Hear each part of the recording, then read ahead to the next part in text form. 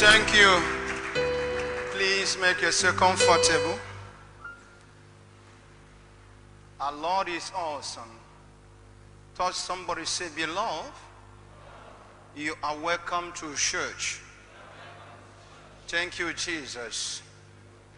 Do you know something about yourself?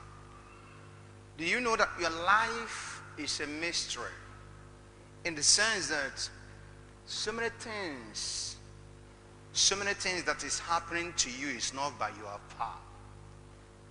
It's not by mere might, but by the Spirit of God. Sometimes we find ourselves in a bad condition, very bad. It looks like all hope is lost. All hope are gone. But God knows why. There's something you need to know about yourself. Okay. When God brought the people of Israel out of the land of Egypt, he said to them, my angels will go with you. King David made it clear. He said that God gives his angels charge of our life. The question, can God allow his people to suffer? Yeah. Why must I suffer? I remember something this morning. What was that? A few years ago, 2015, 16, 17, my days of persecution and humiliation, days of heartbreak and rejection, my days of suffering and tears and sorrows, months, days, weeks, I never find sleep in my eyes. Days of crying day in, day out. But I'm trying to understand the mystery of life those days. But I never renounce my faith. I keep on believing what I believe like never before. I know that God is behind that. When I get out from that temptation, something came into me. And that's what I want the world to know about it. Young lady, if you are in temptation in the life, your, your life is messed up. Young man, if your life is messed up, what does that signify or mean? God is preparing you. God is trying to activate you. God is trying to make you look more strong. Strong. Temptation will make you to be strong person if you never give up your faith. Sickness will make you to look more strong if you never give up your faith. I can fall sick. Okay. Let me tell everybody there's one and stubborn sickness I've ever known in this world. The most stubborn sickness I've ever seen or have seen in life simply means ulcer. This disease called ulcer is more dangerous than HIV. Ulcer is more dangerous than any deadly disease you can talk of. Because ulcer will be in you and pretend that ulcer is not in you. Ulcer can make somebody run mad. Also can make you to have a heart attack. Also can make you to throw out. Also can make you to reject all kinds of food you like. Also can, also can make you to lose lose your memory. You lose your memory. Also can do that. It's the worst and stubborn sickness in life. Then how comes ulcer into somebody's uh, body system?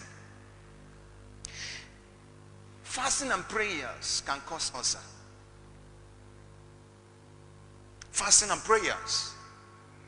Eating something that is too pepperish, as an African we are, eating something that is too hot can cause you ulcer. Hot drink can cause you ulcer. Cigarette and any smoking something can cause you ulcer. But remember, sometimes you are involved in one's disease or sickness or another, so many questions has been going on in your heart. You be asking so many questions within yourself. I'm a child of God. Why am I suffering this? I'm a child of God. Why am I passing through this temptation? God knows that you are a child of God, but He is trying to make you strong. I believe that this eh, temptation is simply means for me to have experience of life. Yeah, that's why I'm tempted. That's why you are tempted. Delay in business, delay in marriage. A young man was came to me yesterday in the office and he was crying. The first question I asked him, Have you gotten married? He said, No. He said, Disappointment, disappointment, disappointment, disappointment. Temptation. And he was crying. He said, Man of God, I need a good wife. I need a wife to live with. Anybody I brought in into my life, she will stay with me. Before you know, she will go and see another man and come back. You know, this all I'm seeing. God has a purpose of that. So, you can never say in life, as long as there is breath in you, you say, people are talking about testimony, I'm not involved, I have nothing to testify. I have nothing to testify. Says who? You have a lot of things to testify, but I'm going to take it to the Holy Book. There's something I want you to know. I want you to know about this. Wonderful Jesus. Somebody say, I'm a testimony. Hallelujah. So I'm taking to the book of First Corinthians, chapter 1, from verse 6. Pardon? First Corinthians chapter 6, from verse 19 and 20. What know ye not that your body is the temple of the Lord? Your body is the temple of the Holy Ghost, which is in you, which ye have of God ye are not your own. Verse 20. But ye are bought with a price, therefore glorify God in your body and in your spirit, which are God's. Okay, what is the meaning of this? Your life, your body is a temple of God. Number one. You see, God has you with a big price, a higher amount of money for his glory in your body, in your spirit, which are God's. Your body, your spirit belongs to God. I repeat, my body is the temple of God. That's what the Holy Book says. What does that mean? No matter the situation, the bad and the good, there is a reason in that happening in that temple. Your body is just a moving temple. Few hours, few minutes ago, we are dancing and jubilating, clapping, smiling, laughing, rejoicing, because we think we found ourselves in the temple of God. So what we see in the temple of God is praises. What we see in the temple of God is worship. Then my body is a moving temple in the sense that whatever that is happening in me is of the glory of God. The temptations around me is for the praises of God. So the Holy Bible said, my body, my spirit is of the Lord, which means is testimony. Then in the beginning of the creation, God says something. Whatever God has created, he said it is good. God made mosquitoes and said it is good. God made the white animals and said they are all good. Including snake, God said it is good. Okay. God made you and say it is good. And say you be in charge of all this creature. What does that mean? God has so much respect for you. He acknowledges you that you are his image. But sometimes, out of little temptation, you are threatening your temple, the temple of God, which is your body. If if if if if if this thing happen, I can't bear it. I'll commit suicide. A child of God. I can't take it anymore. This is too much for me. I, I, I will stop myself. I will take my life. This life belongs to God. That's what Holy Book says. You don't take the life. I must kill that man. I, I will kill that lady for, for disappointing me upon everything I have done for her. She left me to another man. You can't kill because you're not the creator of us. You don't do that. You can't treat yourself and you cannot treat somebody. A wife see a husband with another woman. And she began to scream. Upon all the love I gave him, he is cheating on me. You know that kind of word. He's cheating on me. I can't take it. She killed herself. It's not good. He is cheating on me. I must kill him. You must not treat yourself or treat anybody's life.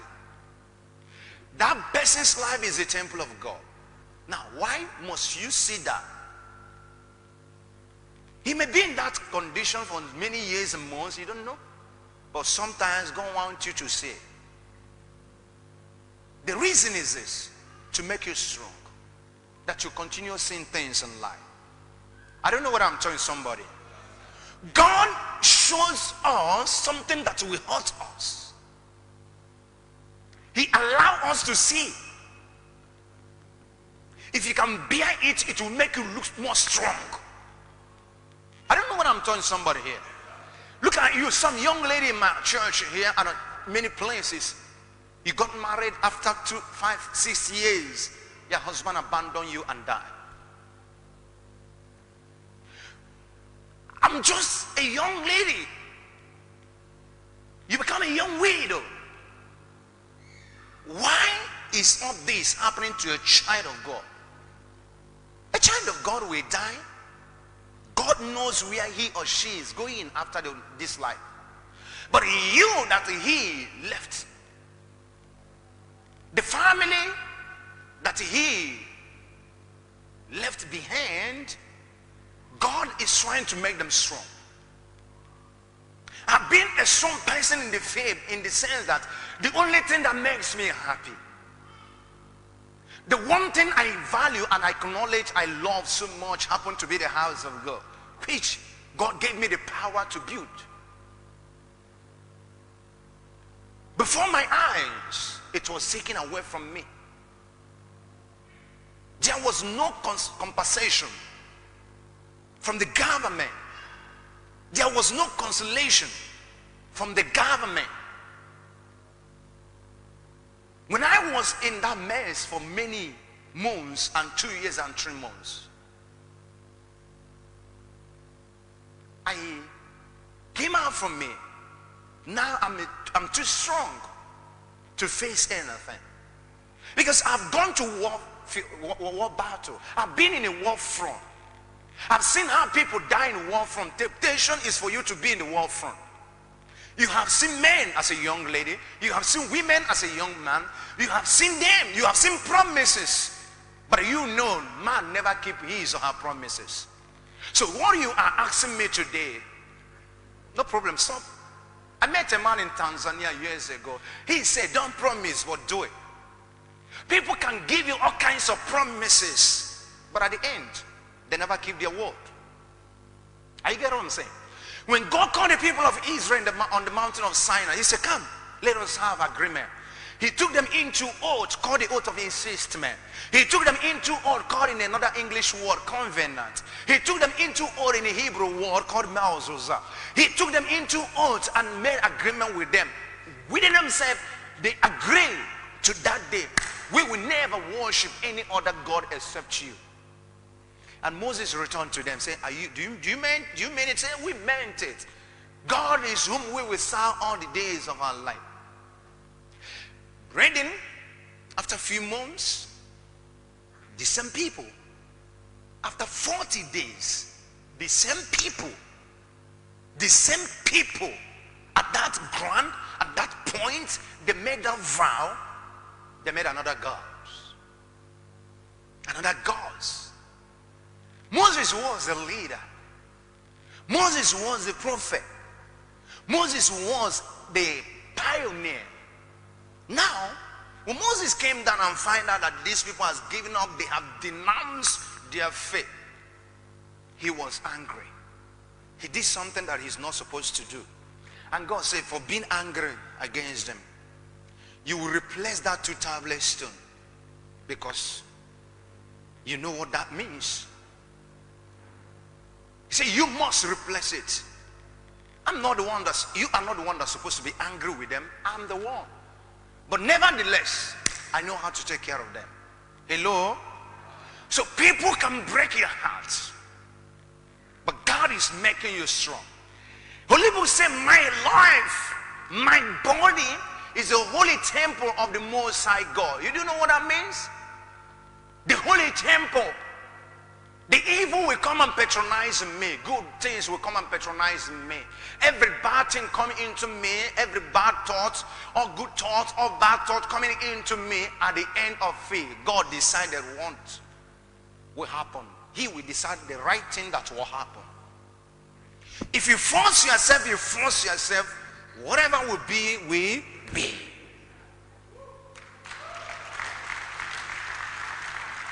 I know about that. Whatever will be, will be. No matter how you force, force yourself. And God said, My body is of the glory to God. He has bought me with big amount of money for his testimony. So, I am rich. I'm a testimony. I am poor. I am a testimony. No matter whatever you are, you have work to do for God. A rich man has work to do. A poor person has work to do. It is only God that reward us according to our works. So don't think God kept you behind. You are in the front page of the glory of God. For he is testimony. May you rise. Keep on celebrating Jesus. Keep on celebrating Jesus. Give it to Jesus. Wonderful Jesus. He said, I'm for his glory. Testimony. That's why I was made. A living testimony in good time and bad time.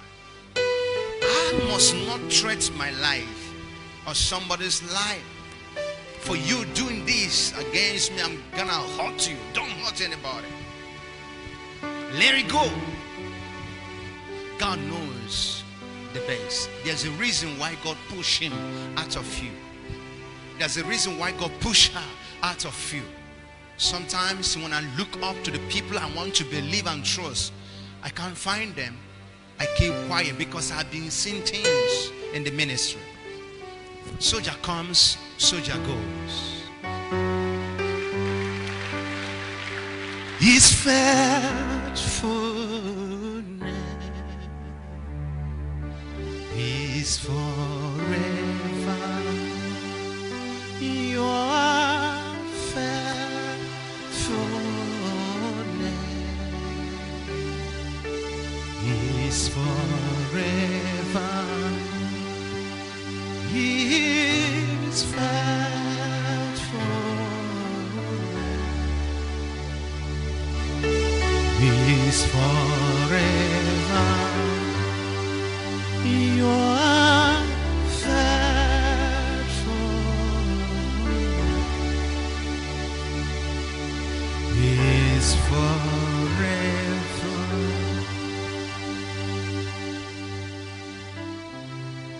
Is. I release the power of the Lord upon your life, your soul, your destiny. He said, You are of His testimony, you are of His glory. Any spirits, any bad thoughts that want to destroy the glory of God in you, I cast them out of your life.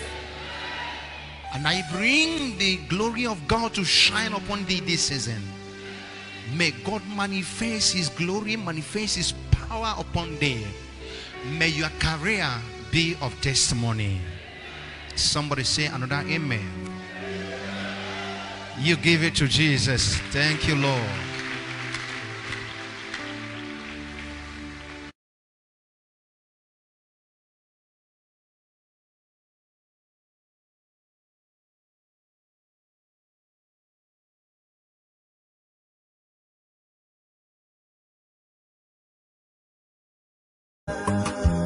Plan to attend Super Sunday service on 20th of March 2022 at Throne of Eliyah's Ministry located at 130 People Road by Ojuzo Bridge, Aba, Abia State, Nigeria. Come and experience healing, breakthrough, deliverance, and other spiritual blessings from God through His prophet, Reverend E.S. Emeka, including blessings that comes from worship and praises led by gospel artists Cornelius Benjamin, Evangelist Kings J. Adesua, Kachi Okoro, and Chus Bazi. Remain blessed.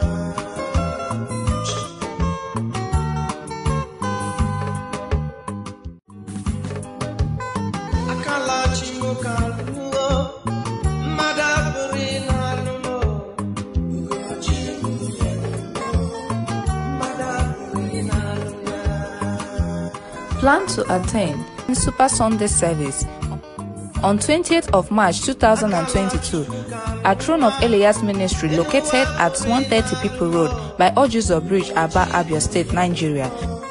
Come and experience healing, breakthrough, deliverance, and other spiritual blessings from God through His prophet, Reverend E.S. Emeka, including blessings that comes from worship and praises led by gospel artists Cornelius